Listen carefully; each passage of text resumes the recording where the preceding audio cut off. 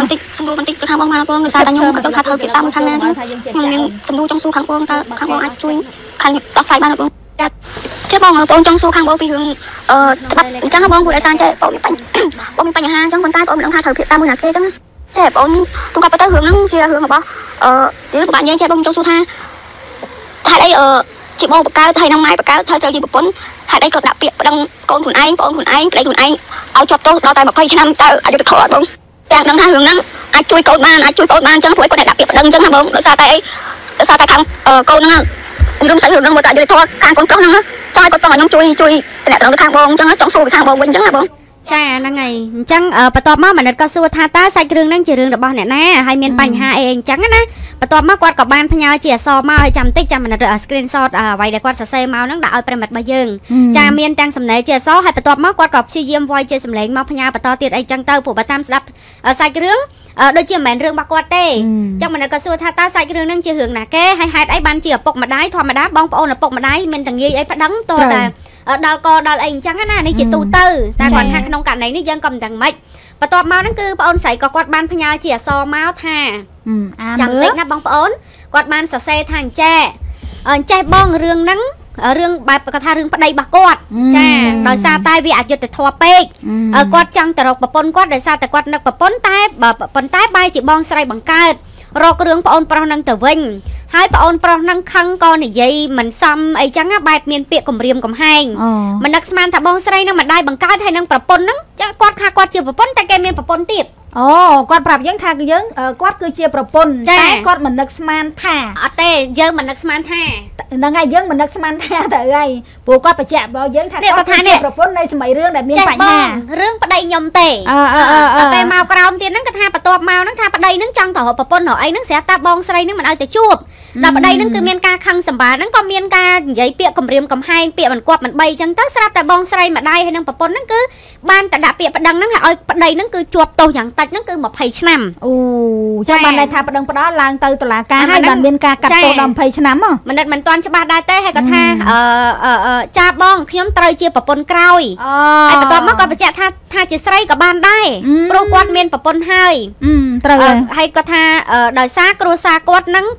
ឲ្យចូលផ្ទះប្រហែលជាមិនឲ្យគាត់ចូលឬមិនដឹងឥឡូវយើងសុំស្ដាប់វយបន្តទៀតសរសេរសរសេរជាអសរផងវយជាសម្លេងផងហ៎វយនៅច្រើនទៀតបងឥឡូវយើងស្ដាប់តែមកក្បាច់បងសួរខាងបងចេះគាត់ថាគ្រូសាខាងគាត់ហ្នឹងគាត់ថាខាងបងប្រុសហ្នឹងគាត់គាត់ថាគាត់ចង់ទៅលេងប្រពន្ធអ្នកប្រពន្ធទៅលេងប្រពន្ធតែទៅបានពេលភ្លឺឯងបងប៉ុន្តែហាក់ដូចបងស្រីបកគាត់ហាក់ដូចជាហួងហែងប្រពន្ធគាត់ចឹងណាហើយបងប្រុសគាត់ចេះឆ្ងល់ថាហួងហេតុអីបានជាគ្រាន់ពេលគាត់ឆ្លុះពីមួយប្រពន្ធគាត់ចុះហេតុអីក៏បងស្រីចេញមកកាងរហូតឌុកមាត់រហូតចឹងណាក៏បណ្ដោយឲ្យអឺខាងប្តីគាត់ខឹងគាត់គិតថាថាជា អឺបងស្រីគាត់នឹងប្រពន្ធគាត់នឹងសាហាយនឹងគ្នាអញ្ចឹងណាចុះគាត់ចេះឆ្ងល់គាត់ចេះខំគាត់ចេះនិយាយបោះពាក្យគំរាមកំហែងអស់សម្រាប់ធ្វើអីចឹងប៉ុន្តែគាត់ចេះតែនិយាយពេលមនុស្សខំគាត់ចេះតែនិយាយទៅតែបើចិត្តគាត់គាត់លើកដៃធ្វើដាក់គូសារដូចទេហើយអាបងស្រីនោះហើយតែចង់ថាអឺខ្ញុំគាត់ថាហើយតែគាត់ចង់រស់នៅមួយថាបើសិនជាបងជាប់គុកហើយគាត់នឹងអាចរស់នៅជាមួយប្រពន្ធបងនឹងបានសុខចឹងគាត់ទៅដាក់ពាក្យប្តឹងយកផុសតាំងសលេងនៅប្រហែលបងនិយាយចេះនិយាយថាមនុស្សខំចេះតែនិយាយបងគេដាក់ពាក្យប្តឹងឥឡូវហ្នឹង ជាប់ត្រូវជាប់គេចាប់គាត់ហ្នឹងត្រូវជាប់មកទោះខ្ញុំអន់ផុត20ឆ្នាំចង់ខាងប្រុសគាត់គាត់រងអយុធធម៌អយុធធម៌ពេកបងអញ្ចឹងបើសិននេះក៏មានដំណោះស្រាយត្រូវជួយគាត់បានបងខ្ញុំឆ្លងហើយដល់ពេលហើយបងអូននឹងដឹងខុសក៏ស្ថាបតែសុំតបបងអវបងផងអវប្រពន្ធផងអវម៉ែផងប៉ុន្តែក៏ដៅរបស់គេគឺគេលើកលែងឲ្យបងខ្ញុំឆ្លងខាងនេះជាម៉ែបកើតបងបកើតហើយធ្វើជាប្រពន្ធទៀតហើយសុខចិត្តឲ្យឲ្យឲ្យកូនសុខចិត្តឲ្យប្អូនសុខចិត្តឲ្យប្តីជាប់ទោសដល់20ឆ្នាំទាំងទោសហ្នឹងអាចលើកលែងឲ្យបានសោះបងអូនដឹងខុសបងអូនសុខចិត្តថាទៅសុំទោសអវបងឡើងឆ្នាំអវឡើងនេះនៅគេអត់ព្រមទេគេព្រមលើកលែងឲ្យទេគាត់ថា លើកលែងឲ្យបានធ្វើឲ្យជាប់ធំពី10ឆ្នាំ5ដល់15ឆ្នាំអាហ្នឹងជាបំណងគេចង់ឲ្យយើងជាប់តើអាហ្នឹងអាចគិតមិនទៅបងខាងបងអាចជួយបកស្រាយឲ្យទីពួកអីទៅស្អីខ្ញុំអត់យល់អត់យល់ថាមិនមែនអត់តៃនេះបងប្អូននេះម៉ែប្រពន្ធបែរតោះលើកលែងបានបែរជាមិនលើកលែងឲ្យគ្នាចង់សួរខាងបងថាតើយើងត្រូវធ្វើមិនអញ្ចឹងណាបងដោយសារខ្ញុំខ្ញុំវាហុកចិត្តពេកខ្ញុំណាមួយគាត់តង់ឲ្យខ្ញុំនឹងជួយសួរខាងបងផងព្រោះឥឡូវគាត់កំពុងចាប់នៅក្នុងនៅត្រែងគេគុំខាំងគេតង់បញ្ជូនទៅព្រៃសរទេប៉ុន្តែគ្នាហុកចិត្តពេកគ្នាវងគ្រូសាសុំតោហងវងផងទាំងបងស្រីទាំងទាំងម្ដាយបកម្ដាយដាច់អហង្ការហ្មងអត់ព្រមលើកលែងឲ្យទេ ហើយសួរថានេះនេះចិត្តជាម្ដាយបងបកកនឹងខុសសុំទោសហើយចេះចង់កែយើងក៏អភ័យទោសតែនេះពួកគាត់អត់ទេយល់ទេពួកគាត់ចង់យកចង់បំបីចេញពីយល់និយាយមកទៅថាបងស្រីនិងប្រពន្ធម្នាក់ប្រុសហ្នឹងគឺស្រឡាញ់គ្នាហ្មងអត់ចង់ឲ្យម្នាក់នៅក្រៅមកទៅអញ្ចឹងណាបងចង់ខ្ញុំចង់សួរទៅខាងបងហ្នឹងខ្ញុំចង់ដឹងថាតើត្រូវធ្វើម៉េចអាចជួយគាត់បានចង់ហើយខ្ញុំចង់សួរថាចង់សួរខាងបងថាតើតើត្រូវធ្វើដូចម្ដេចបានអាចថាអាចជួយគាត់បានអញ្ចឹងវាអយុត្តិធម៌សម្រាប់គាត់ពេកចចាអឺ គេអាំងបាត់ហើយនៅទៀតហើយនៅកកក្តីហ៎កកក្តីហើយចាំអាមួយផ្លេតទៀតសិនចាហ្នឹងអូអាមួយហ្នឹងកាន់តែពិបាកជាងអានេះទៀតណាបងបារាចាហ្នឹងហើយឥឡូវយើងសុំអឺបន្តទៀតណាចាចាស្ដាប់ពុំចាបងខ្ញុំដោយសារតែខ្ញុំហ្នឹងខ្លាចខ្លាចទៅពេលខ្ញុំទេទៅផ្សាយសលេងទៅខ្ញុំអូខ្លាចមែនទេច្រឡំខ្ញុំចាស់ដឹងអញ្ចឹងទៅខ្ញុំខ្លាចខាងពីថាទាំងទាំងថាទាំងដឹងថាពេលហ្នឹងគាត់ក៏តែក៏ប៉ុន្តែខ្ញុំតែថ្មគាត់ថាឲ្យដកពាក្យបណ្ដឹងវិញទៅហើយបងស្រីហ្នឹងក៏គេព្រមដកដែរប៉ុន្តែគេថាតែទៅខាងនោះគេថាមិនចាំដកទេឲ្យវាជាប់5ឆ្នាំទៅបើដកពាក្យបណ្ដឹងវិញវាអស់ទៅហើយ ចុះកោដៅរបស់ខាងម្ដាយនោះគឺគេចង់ឲ្យកោចង់ឲ្យខាងប្រុសជាប់ជាប់គុក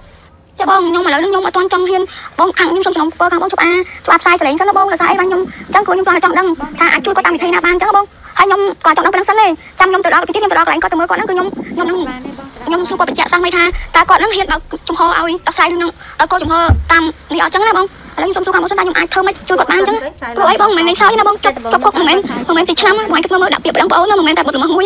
តាមបុតល្មើសហើយសុទ្ធតែធំធំទៀត ទាំងបងអូនមានចេតនាចង់ធ្វើតែគាត់តែការខឹងគឺធម្មតាទាំងគេទាំងយើងប្តីពុនជួគេបងមកលុកមករហូតធំហើយរហូតបំបីគេមិនឲ្យគេជួប្រពន្ធគេកូនគេណាចង់និយាយចឹងគេហុសចិត្តគេខឹងគេចេះតែនិយាយទៅតែបើឲ្យគេទៅធ្វើគេមិនដែរគេធ្វើទេ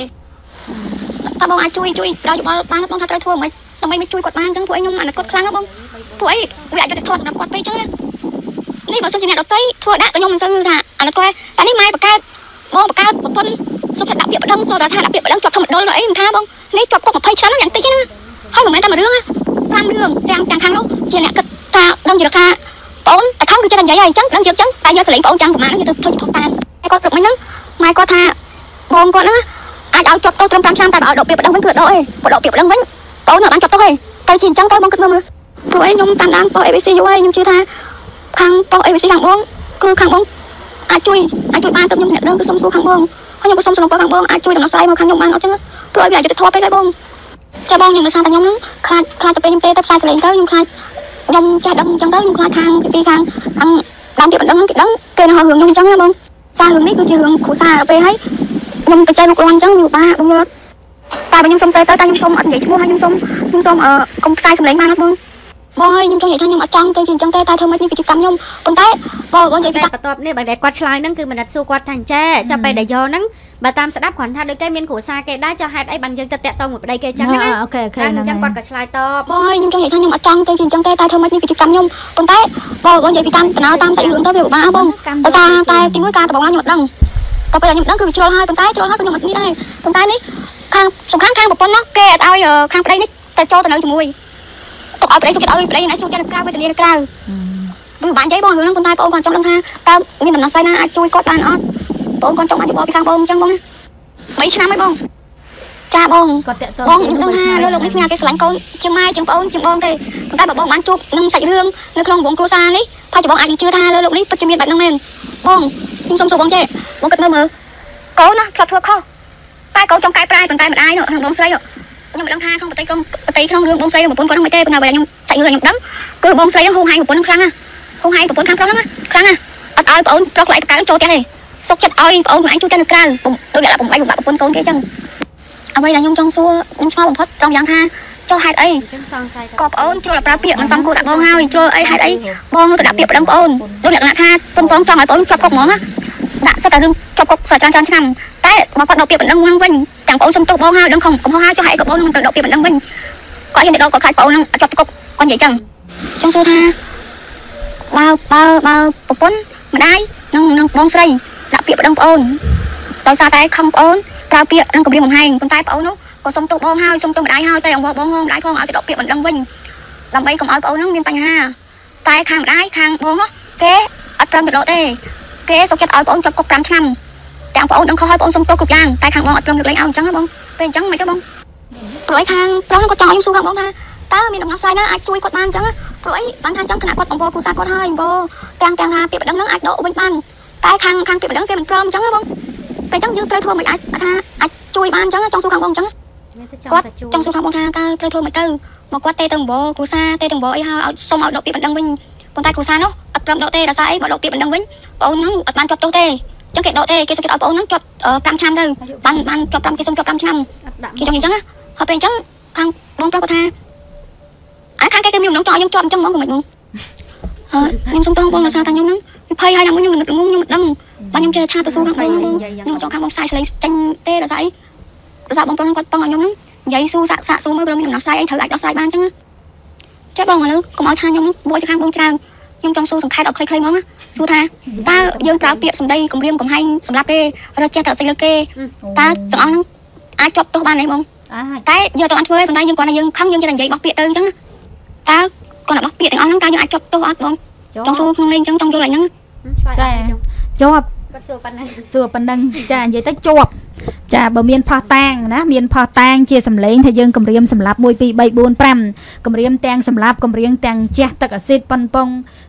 ធ្វើអឺឃាតកម្មអមនុស្សឃាតអីទាំងអស់ហ្នឹងគឺសិតអឺប៉ុនប៉ុងមនុស្សឃាតអាហ្នឹងសិតតែចូលបាត់ល្មើសព្រហ្មទណ្ឌករណីទោសហ្នឹងគឺសិតតែលក្ខណៈធ្ងន់ត្បិតថ្មីត្បិតតែយើងមិនទាន់ធ្វើសកម្មភាពប៉ុន្តែ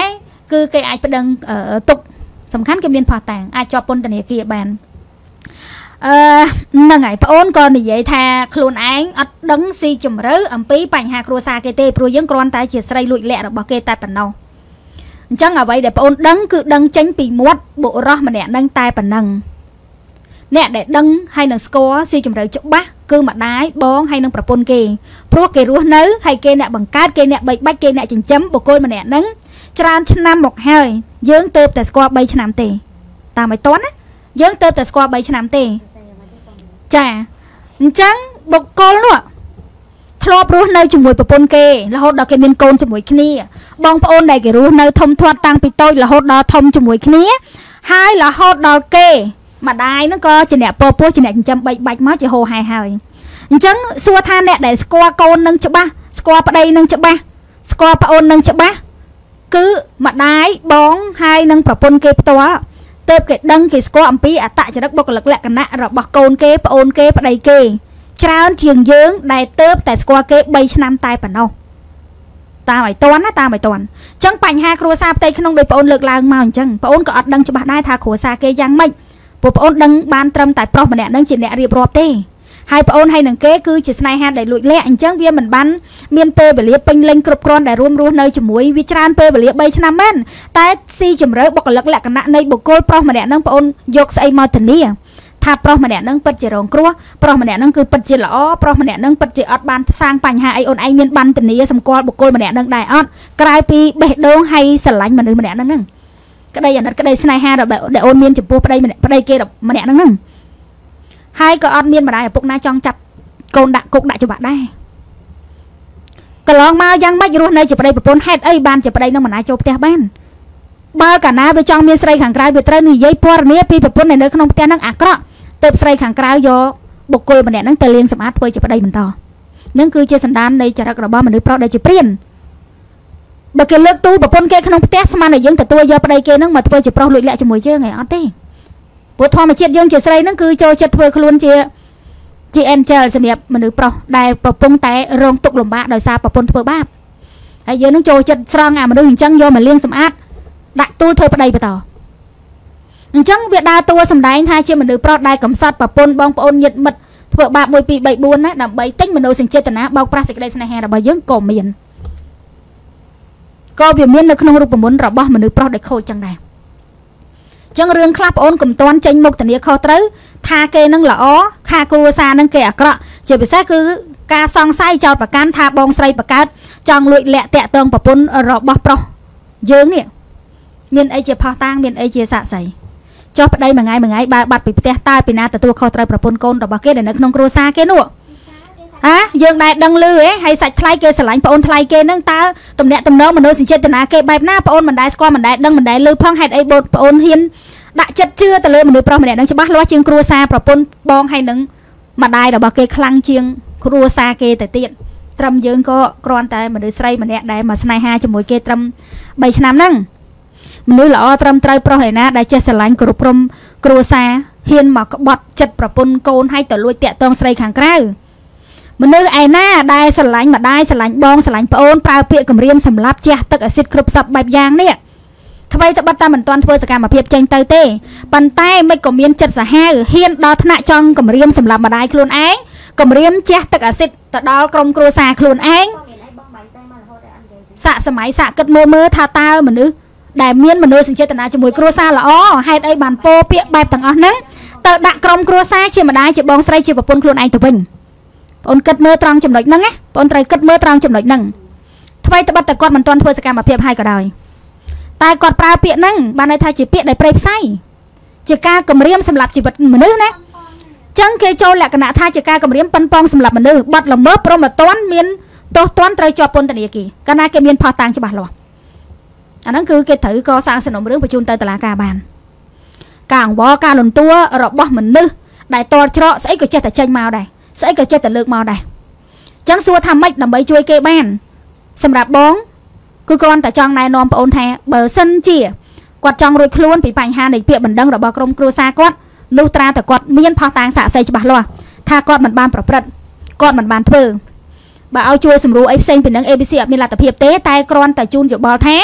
បើចង់រួចខ្លួនពេលដែលតតាំងក្តីនៅតុលាការត្រូវមានផុសតាងសាក់សី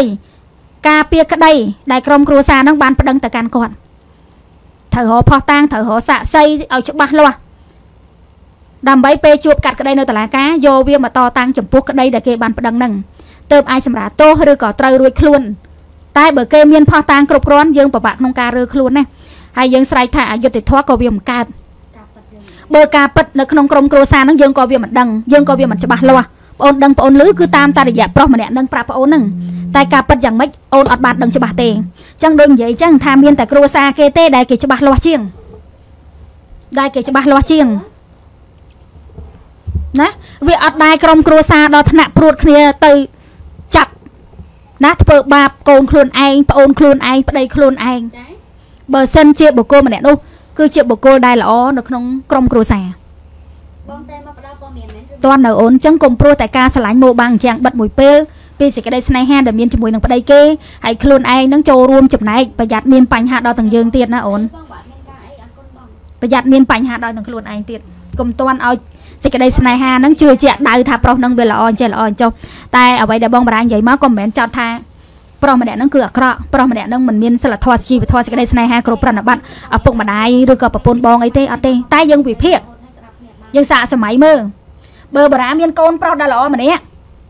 បើបារាមានប្អូនប្រុសដែលល្អម្នាក់ហើយបើបារាមានប្តីដែលល្អម្នាក់តើមានហេតុផលអីចាំបាច់អីដែលបារាត្រូវតែប្តឹងគេឲ្យចាប់ប្អូនខ្លួនឯងដាក់គុកចាប់ប្តីខ្លួនឯងដាក់គុកចាប់កូនខ្លួនឯងដាក់គុកអានេះយើងយើងយើងគិតអញ្ចឹងយើងគិតអញ្ចឹងបានហៅថាការការការវិភាគដោយហេតុផលហើយបើសិនជាប្តីដែលល្អម្នាក់ប្អូនដែលល្អម្នាក់កូនប្រុសដែលល្អម្នាក់ ហេតុអីប្រើពាក្យគម្រាមសម្រាប់ម្ដាយខ្លួនឯងគម្រាមសម្រាប់បងស្រីខ្លួនឯងគម្រាមសម្រាប់ប្រពន្ធខ្លួនឯងដល់ថ្នាក់ចេះទឹកអាស៊ីតយើងសាកសម័យមើលអត់មានគ្រាន់តែពាក្យសម្ដីដែលពោចេញមកហ្នឹងវាអត់មានធម៌មេត្តាករណាក្នុងចិត្តវាមានតែហឹង្សាបងអូនស្រីចឹងកន្លែងហ្នឹងអូនសាកវិភាគមើលមើលសាកវិភាគមើលមើលបើប្អូនជាក្រុមគ្រួសាររបស់បុគ្គលដែលជាប្រុសរបស់អូនហ្នឹងតើប្អូនមានការផិតភ័យនិងបារម្ភខ្លាចដូចអ្វីដែលគ្រួសារគេកាត់ឡើងដែរអត់ ទោះបីអូនមកនិយាយថាគាត់គ្រាន់តែនិយាយឯងគាត់ធ្វើ1 2 3 4ចេះមនុស្សតែគិតវាអាចចេញជារូបភាពនៅពេលណាមួយចឹងបើយើងដឹងហើយយើងមិនការពារខ្លួនគ្រោះថ្នាក់កើតឡើងតើអ្នកណាទទួលខុសត្រូវអាយុជីវិតក្រុមគ្រួសាររបស់គេហើយបើមនុស្សហ្នឹងដែលអូនស្រឡាញ់ហ្នឹងមនុស្សល្អនេះហេតុអីក្បត់ប្រពន្ធគេមកយកអូនឯងហេតុអីបានប្រើពាក្យគម្រាមកំហែងដល់ក្រុមគ្រួសាររបស់ខ្លួនប្រច័នណោះខឹងមកបងស្រីខ្លួនឯងមកស្រឡាញ់ប្រពន្ធខ្លួនឯងហ៎ ហើយចុះគ្រួសារហ្នឹងពីមុនមកយ៉ាងម៉េចបានប្តីប្រពន្ធហ្នឹងត្រូវបែកចែករស់នៅផ្សេងពីគ្នាអូនឯងដឹងរឿងទេហើយប្រកាសទេរឿងដែលដឹងហ្នឹងវាជាការពិតតាមពាក្យសម្ដីដែលប្រុសម្នាក់ហ្នឹងប្រាប់ទៅអូនពិចារណាណាដោយសតិណាកុំប្រើបេះដូងច្រើនពេកអញ្ចឹងអ្វីដែលបងអូនចង់សួរថាចុងក្រោយជួយប្រុសរបស់អូនបានដោយរបៀបណាបងបារាសូមបញ្ជាក់ថាអត់មានវិធីណាជួយបានក្រៅពីរផោះតាងសន្សំទុកការពារខ្លួនបើខ្លួនមិនបានប្រព្រឹត្តដោយក្តីដែលគេប្តឹង នឹងមានឱកាសរួចខ្លួនតែបើខ្លួនប្រព្រឹត្តហើយគេមានផោះតាងគ្រប់គ្រាន់ហើយយើងអត់មានផោះតាងអត់មានសាក់សីយើងនៅតែបន្តគ្រោះថ្នាក់ជាប់ពន្ធនាគារតាមអ្វីដែលគេបាន